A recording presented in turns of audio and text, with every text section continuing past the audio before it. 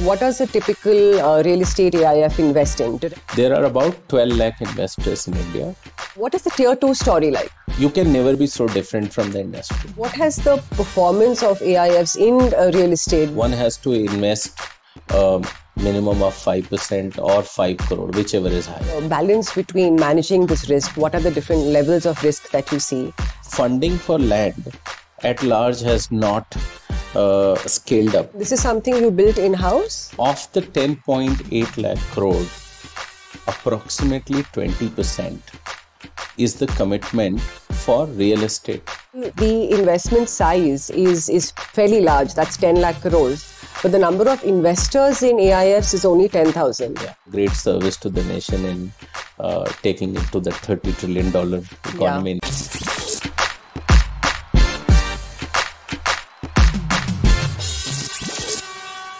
So, hi, uh, Ram. Welcome to the Property Angel podcast, and thank you for joining us here today.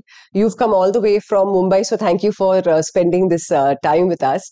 Uh, you've, of course, been a very prominent figure in the entire alternative space uh, in India. You know, earlier as the CEO of Edelweiss, the real estate practice, and now with Integrow. And in that period of time, the entire AIF industry has seen phenomenal growth you know, in fact, when I was doing my research for this podcast, I was uh, shocked to understand that the uh, investment size was 10 lakh crores. Yeah, and if you compare point. that, yeah, if you compare that to the mutual fund, uh, that is 50 lakh crores. So I thought yeah. 20% was a pretty large yeah. Uh, sort of, uh, you know, a percentage. Um, and the majority of this has been in category two, which is where, uh, you know, you operate. So I thought if we could start with you just giving us the basics of AIF and helping us understand what are the three different uh, categories. So uh, category two is where the private credit play happens. Okay. Uh, category three is more equity, hmm. Uh, and category one is more of social investing.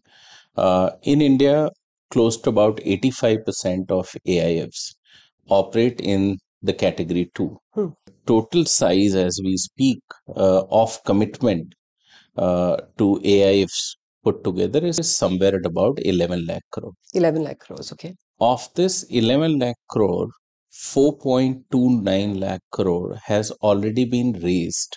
Okay. Uh, and invested. Okay.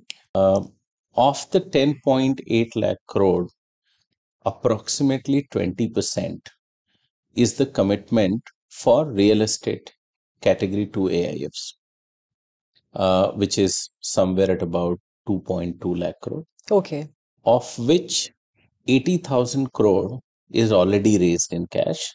Okay. And roughly 76,000 crore is already invested. And this 76,000 crore is invested through close to about 250 odd schemes, uh, which are launched by various players in the space. I see.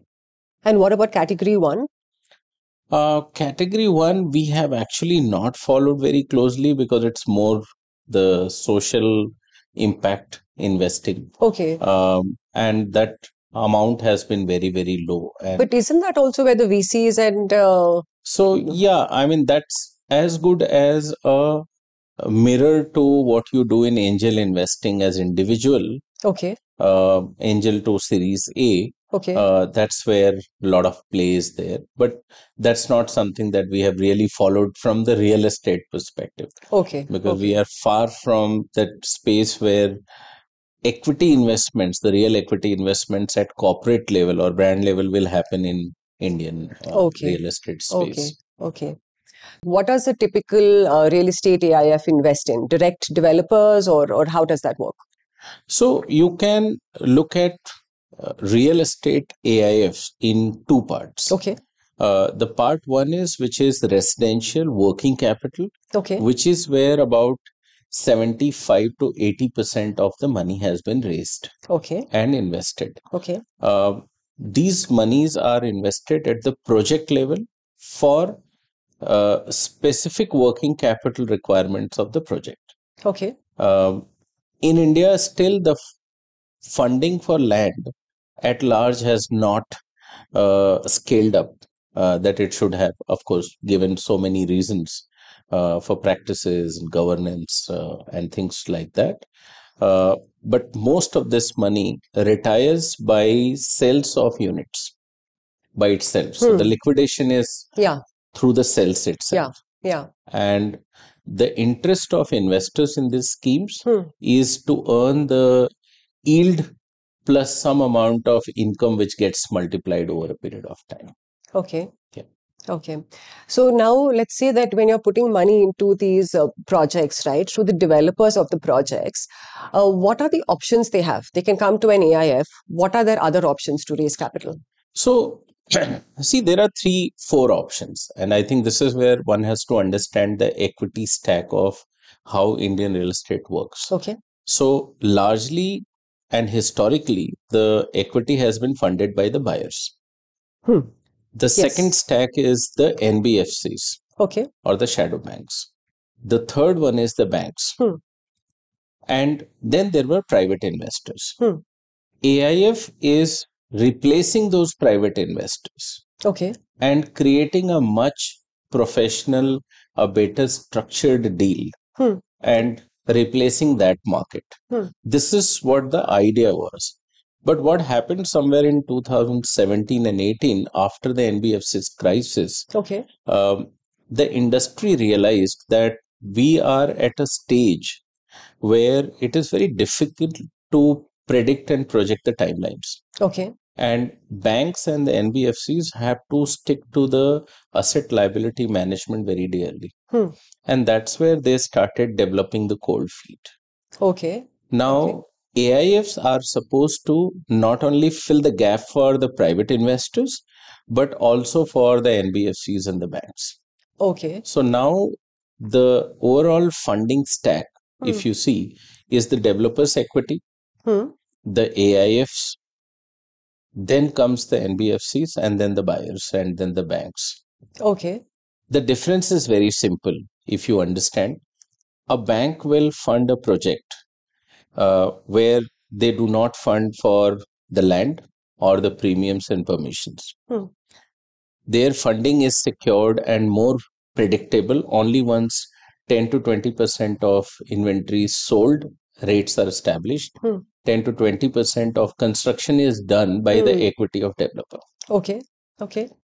NBFCs are now not allowed to fund for the premiums and land anyway. Oh, they're not. They're not. Okay. So, where now the developers' uh, option Hmm. is there for availing the funding is the AIFs. So without with uh, there not being any pre-launch uh, sale option, maybe that market also moved into the AIFs. Is that why we have seen that level of growth? Absolutely. Okay. And the other part is that uh, what I would call is the India's uh, second bliss after 1993 liberalization, those 300 days Hmm. between 8th November 2016 to uh, October of 2017. Uh, there are three key events that happened demonetization, Yeah. RERA, Hmm. and GST CST, all three. and there is Yeah. a fourth one on top of that which of course may not be directly related yeah. to um, you know the indian real estate but that's upi Hmm. Yes. right Yeah. so these are four things which will change Hmm. uh, the course of economy for next 10 to 15 years Hmm. Hmm. uh, so that's uh, in nutshell how things have changed and Yeah. that's where uh, you know from private investors Hmm. burning their hands Hmm. because of the lack of data and information and consistent management and uh, uh, understanding of performance from the developers the replacement Hmm. uh, happens to be real estate specific aif Okay. because the expertise lies there Hmm. the uh, rigor to follow to manage to understand the risk Hmm. and monitor is lies there Hmm. which in case of a bank or a nbfc would not be possible because they have to be sector agnostic Hmm. Okay. Okay. So talking about that, how do you uh, balance between managing this risk? What are the different levels of risk that you see, and balance between the risk management and uh, generating alpha for your customers? i think the key risk in real estate lies in the planning Hmm. if you look at today across 26 states there are about 96,000 odd projects which are registered in RERA. Okay. Of this, close to about 30% projects are already in delay In delay. as per RERA information. Okay. Okay. Now, the cause of the delay can be attributed to two. Okay. One is the faulty planning, Okay. where you assume everything good will happen Okay. from the developer side, and then let even the customers believe. yeah. The second is the lack of financial closure.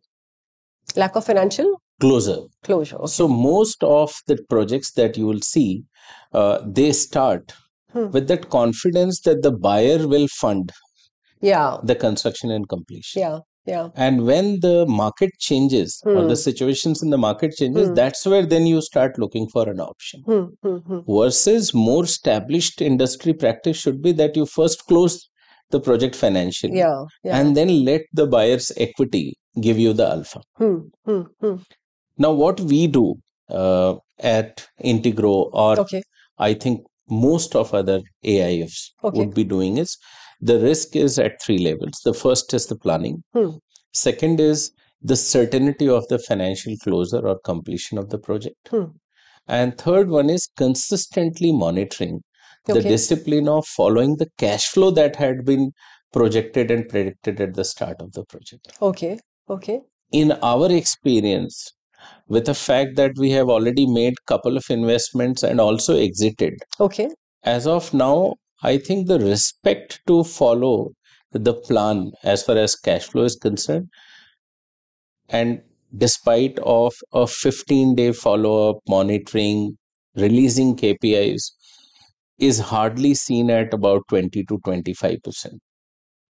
Okay. So that's the kind of lack of, you know, clarity and confidence in planning Hmm. uh, and that's why it is very difficult for banks and NBFCs to very soon find that confidence Hmm. in Hmm. the Hmm. industry to go and fund. Hmm. Hmm. So the what is the tier two story like? So we are not investing as of now in tier two. Um, our uh, area of investment as of now is in six cities in Okay. India. Okay. Uh, but I think, uh, and we have been, you know, covering a lot of tier two cities. I think the economic dispersion in India has started since last about three, four years. Okay. And most of the tier two cities uh, may surprise us in their growth story on the positive side. Okay. Um, and the credit goes to the regulators and uh, the competitive spirit of local regulators now, the city Okay. planners Yeah. who are now looking at cities from the perspective of next 50 to 100 years and how they will evolve. Hmm. So a combination of economic dispersion beyond the four five cities Hmm. Hmm. and the you know competitive spirit of the regulators Yeah. and city planners Yeah. uh, across the tier 2 cities will usher in a growth for the tier 2 cities in a very different way So how come you are not investing in the tier two story? we story? are covering You're covering. we are covering i think it is an early stage uh, my sense is overall real estate itself is at an early stage and there is a lot to be done Yeah, that's true. Yeah. Yeah. So let's talk about that, the opportunity, right? You said you're we are still at the very early stage in real estate. And uh, so what is the opportunity that you see from here and why did you start Integrow? So, you know, annually we are, and I'm only talking from, say, residential perspective to start with, and then we'll Okay. cover commercial. Annually, we sold last year about four and a half lakh crore worth of inventory in real estate. To deliver this inventory, you can roughly say that close to about 1.2 million units or would Hmm. be in offering Hmm. over a period of next three and a half to four years Okay. across different stages. Okay. This kind of supply Yeah. needs uh, a very uh, established form of funding on one side. Uh, and for that, not just the AIFs, but AIFs, banks, and NBFCs, all three will have to step up. Hmm. How we really, because this will be the growth engine for the country's GDP. where we want to reach from here. Yeah. So that's the first point. The second point is the total supply of grade A commercial Hmm. is somewhere at about 700 million square foot in the country Okay. in last 23 years. Okay. Next seven years, the Hmm. total supply of grade A commercial is equivalent to last 23 years. Wow. So you know what kind of capital Yeah. you need to, you know, usher that growth. Yeah. Uh, so this is the opportunity. Now, how does this capital gets, uh, you know, arranged for, or where does it come from? So if we look at AIF, because that's what we are talking thematically, Yeah. there are about 12 lakh investors in India who we consider as qualified investors, Okay. the HNIs, uh, who have 5 crore and above investable surplus. Hmm. Of that, in entire AIF space, Hmm. there are hardly 10,000 participants out Okay. of 12 lakh. Okay. Of the 10,000, Okay. there are only 2,000 odd investors Hmm. who have participated in real estate AIF. Okay. Okay. If you compare that with the mutual fund, which is Hmm. at about 45 lakh crore today, Yeah. we have three and a half crore investors, Hmm. right? Hmm. So I think there is a lot of scope of right education, right processes, and right governance, Hmm. both from the AIFs, the developers, and also the government, Hmm. which will ensure that the supply of capital, Hmm. The availability of capital is there, but the education uh, and the protection of that capital is something that if industry can really uh, put forward Hmm. uh, and put forward beyond the menial local issues of Yeah. permissions and regulatory Yeah. issues and bring the customer on the center and then Hmm. look for the funding. Hmm. Uh, I think the capital is enough. It will find its way to real estate through AIFs. Hmm. But that's interesting that uh, while the investment size is is fairly large, that's 10 lakh crores, but the number of investors in AIFs is only 10,000. Yeah. How do you explain uh, that? I think it is also to do with that uh, most of large size investors prefer investing directly. Okay. Um, and there are two sides to the story. One side of the story is that if you have size, you can afford to go and write a bigger check. But the other side of the story is if you get stuck, then the industry gets a bad name. Okay. Yeah. Uh, and I think this is where uh, you know we have been talking and engaging with a lot of family offices that real estate is a very specific area of expertise. Hmm. We need not 10, 20, 30, but we need maybe hundreds of franchises in India Hmm. which are specifically building capacities and capabilities uh, to manage the real estate risks Okay. because it's not just one single rule uh, Yeah. like a, a mutual fund or insurance. Yeah. Uh, it is every single locality, every single local corporation has a different rule. Exactly. And that's why you need Yeah. such a massive scale Yeah. of players. Correct. Yeah. So, uh, and so how many such AIF real estate funds would be there today? I think there are about, as I said, about 200, uh, 250 odd Okay. uh, number of schemes. Yeah. And if you look at uh, uh, real estate AIF, the I would not say PT, but because that's what happens when the industry is at its early stage of evolution. Hmm. Uh, most of the asset managers, like the banks and the NBFCs, Hmm. find real estate investing as an adjacent opportunity. Okay. And when you have an adjacent opportunity where you are only putting your 5 or 10% of Hmm. uh, you know capital and focus, Hmm. you will not develop the expertise. Hmm. Hmm. Hmm. And then that's where we are trying to make a difference of building a real estate specific franchise Okay. uh, so that we can manage that kind of a risk. Understood. And I think that's what I said when I said we need at least 100 of such franchises yeah. Yeah. across the country Yeah. Yeah. to manage and then to attract the capital. Yeah, yeah. So, and how would Integrow's funds be different from the other players uh, or the other schemes available? I think um, or how, how does an investor pick amongst yeah. Uh, i think and and this i always speak about you can never be so different from the industry. Okay. Uh, so as far as the product is concerned it is like anybody else. But as far as the approach is concerned as far as the institution capacities the technology that we have built hmm. uh, that is absolutely aligned to what is needed specifically in real estate so just giving an example we have this platform called as rjob which is the tech platform which ensures that right from evaluation Hmm.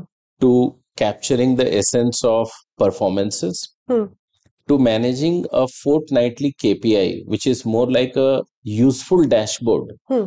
for the developer himself, okay okay to ensuring that the entire invoice processing okay to processing of NOC for cells happens through the system.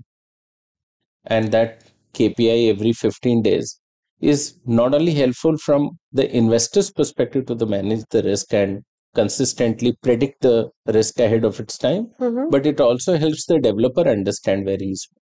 so all your developers use the same technology Yes, they have to They have to use it.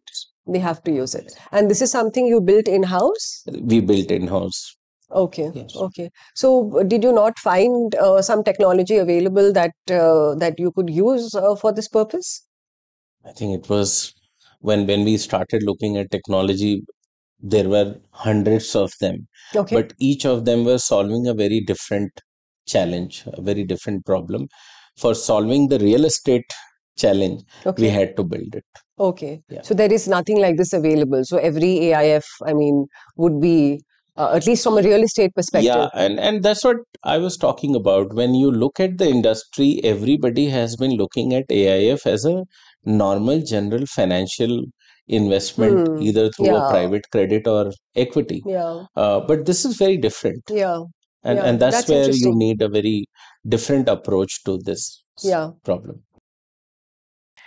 Uh, so AIF funds, I mean, pretty much are close-ended, right? And then you have a fund life, which is typically five to seven Five to years. seven years. So, so what does that mean? What happens at the end of the five to seven years? Does the fund have to be liquidated, or what does Yeah. that mean?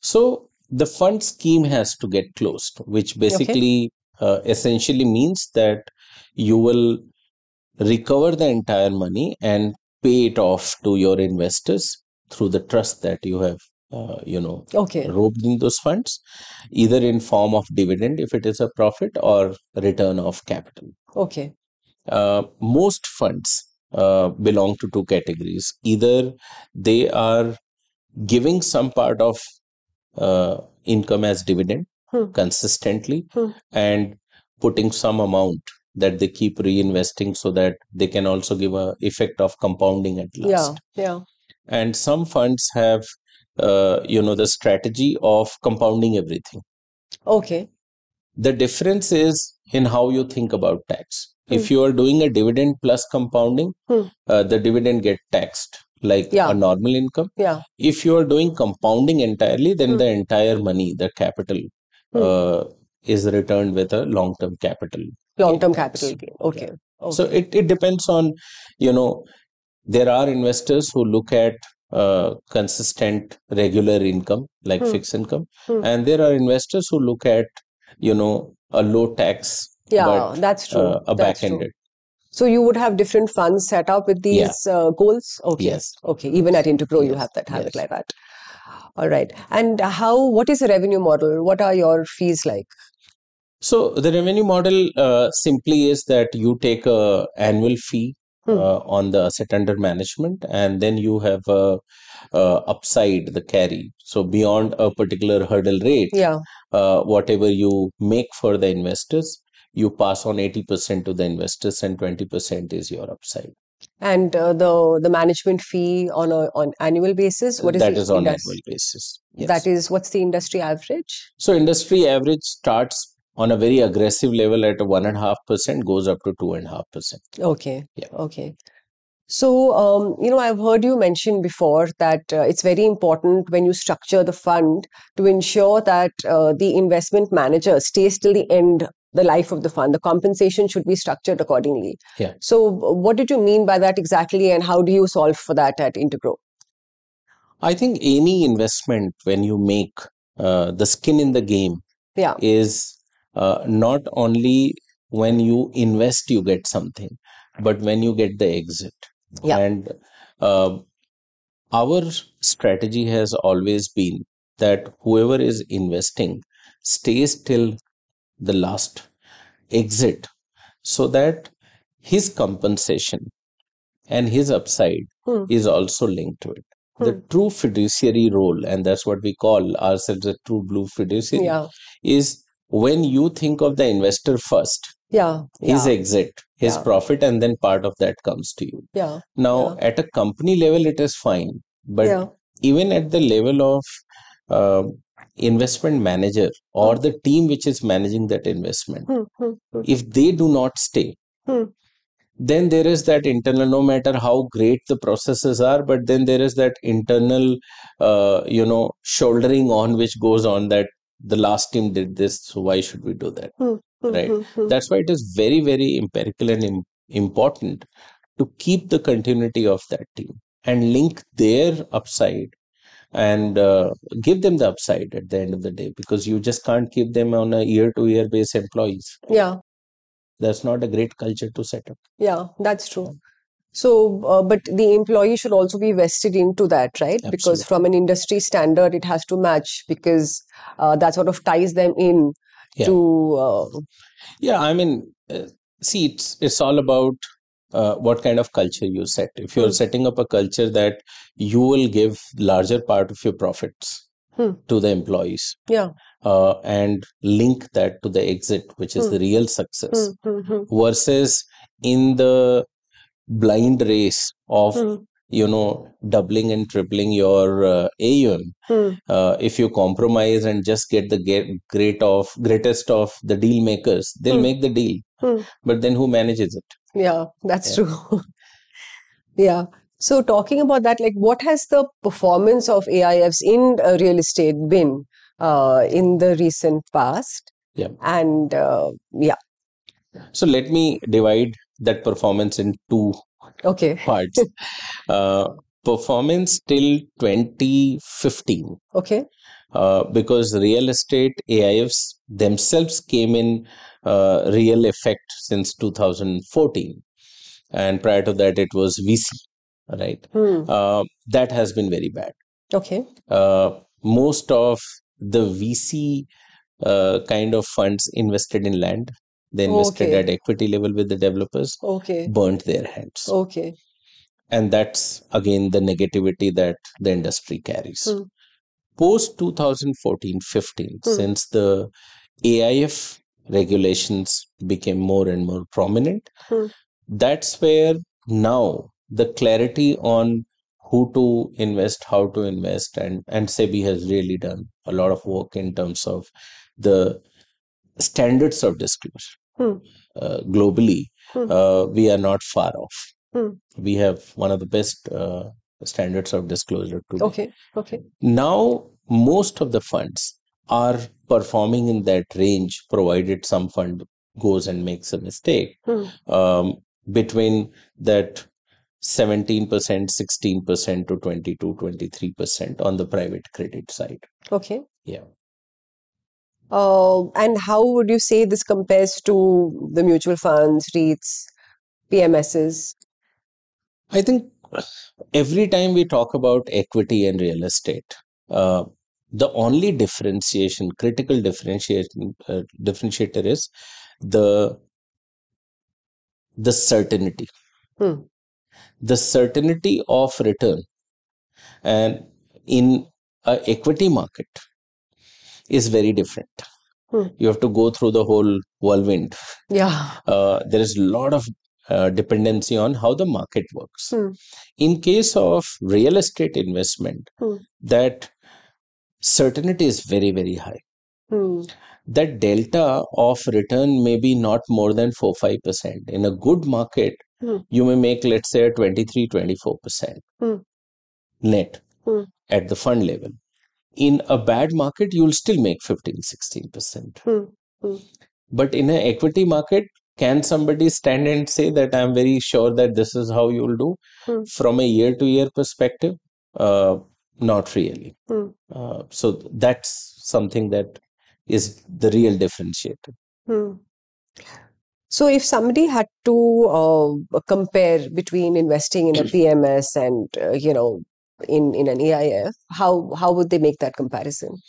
i think it's it's very these are two very different concepts a aif is a pool of capital in a trust wherein a pms is uh, you know the discretionary or non-discretionary choice of an investor to make that investment Yeah. and then uh, you know the manager Hmm. of that money only makes the fee Yeah. Right on that Yeah. uh, so these are two very different Yeah. uh, concepts Yeah. so when you are investing in a aif for example you get units Yeah. if you want to exit at a nav you can exit it in pms it is your investment your book Yeah. and your portfolio manager is only advising you Correct. But at the same time, it's the same corpus of money, right? That I can decide whether I want to put in a PMS or if I want to take that money to an AIF And these are all HNIs that we are talking about. So, how does that one decide whether which option is better for them? After all, I mean, everybody wants that capital appreciation and Yeah. protection. so a lot of investors prefer investing in the ncds directly Okay. using the pms route Hmm. And a lot of investors or most of investors prefer going through aif because there is an active investment management Hmm. of the money Hmm. and and it's part of a pool Hmm. as a pms in real estate it's very difficult Hmm. because in in real estate let's say you are underwriting even a small project you will be giving 50 crores Hmm. as size now Hmm. 50 crore coming from 50 people is not a very efficient structure Yeah. that's why pms is not very prevalent in that Hmm. case Hmm. Hmm. Hmm. uh, that's why aif works more Okay. but as a aif if you have invested through let's say ncds you can certainly using the pms route give access to your investors to even participate in ncds directly Okay, okay. So, uh, in terms of the regulatory environment, if you can just help us understand at the very basic level, what are the regulations under which AIFs operate? So uh, the key regulation is uh, SEBI, Hmm. um, and for category two AIFs, all you need is a investment manager's fit and proper status, Okay, and then you need to file for the scheme. Uh, the scheme has to be fair with all the disclosures of risk, uh, and SEBI assesses that and gives you a go ahead to then go and raise the money in the trust. okay, Um, and the advantage of investing through a trust or AIF is that you have uh, certain tax benefits of long term. okay, okay, okay. Because it's a trust, you have Yeah. a pass through structure. I see, I see. Does the the fund manager have to invest a certain amount of his own capital in any of the projects? Is that part So, of? as a sponsor, uh, one has to invest um, minimum of 5% or 5 crore, whichever is higher. I see. And and that's it in terms of the regulatory environment. Yes. Okay, okay. So, the basic uh, construct of AIF is that it is fiduciary.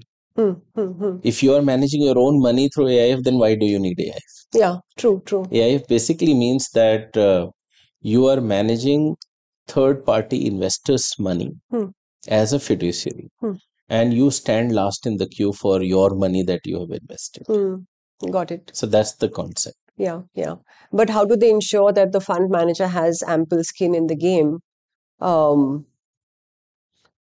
I think uh, there are two parts to skin in the game. One is the asset manager's annual fee. Uh, second is the upside.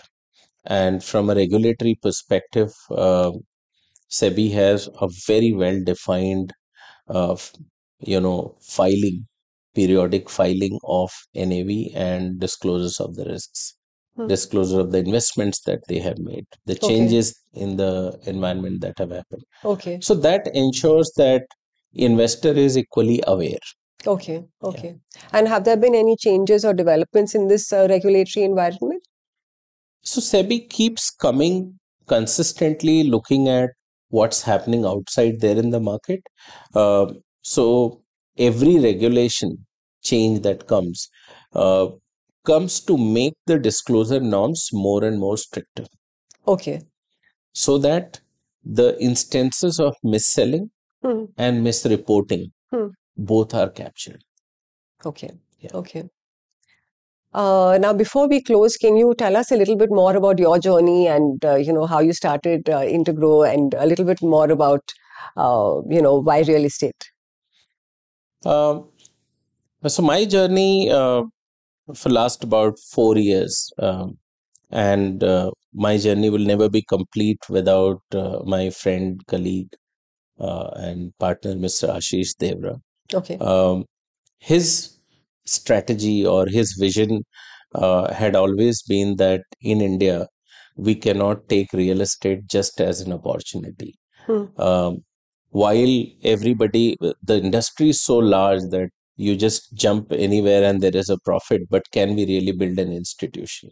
Hmm. Um, so my journey is part of building that large institution where technology, capital, and governance Hmm. three things are brought together to create the real play for next 10 to 15 years Okay. uh, so that's that's the kind of uh, you know uh, participation of mine in that journey so uh, the journey started with integrow asset management and aurum proptech Okay. um, Aurum PropTech's journey has been that can we really build serious technology play or digital play Hmm. in every aspect of real estate Hmm. experience for both for the developers for efficiency and for buyers for experience Hmm. And also the investors for showcasing that one can manage risk Hmm. so these are the three things Hmm. and for that uh, both of us uh, have been consistently involved and engaged in how we can build a governance structure where different set of entrepreneurs Hmm. with diverse ideas and diverse problems that they are solving for the Hmm. real estate can independently coexist and work with each other Okay. uh, so it's it's the Aurum's large vision where Yeah. Integrow is one part of it. Okay. Yeah. Okay. So you started Integrow about three, uh, Three and half years three and a half years ago. And what is uh, the investment size that you currently manage? So we have just uh, crossed 1,060 crores of Wow. AUM in residential. Okay. We are closing our first commercial fund uh, possibly in the mid of April, um, through which we will do close to about four and a half thousand crore of commercial. Okay. Okay. Um, if all goes well, we may be launching our second series of uh, working capital uh, Okay. fund in range of 1500 to 2000 crore uh, by August this year. Okay. Okay. Okay. A- Any last, uh, any more, any comments, any advice for our uh, viewers or anyone looking to set up an AIF fund? Uh, I think, and I've always believed that India is uh, full of opportunities, but with opportunities also comes the risk. Yeah.